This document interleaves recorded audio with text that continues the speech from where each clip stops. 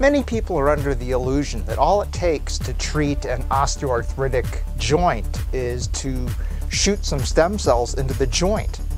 Nothing could be further from the truth. And here's why.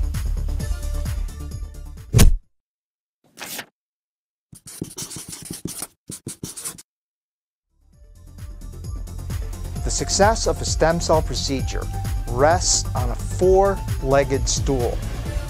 The first, of course, is the stem cell preparation.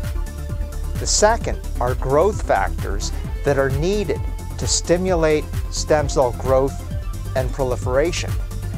The third is a scaffold for the stem cells to adhere to. And the fourth is injury induction in the area that needs to be healed. Without all four critical factors, the procedure is not going to work.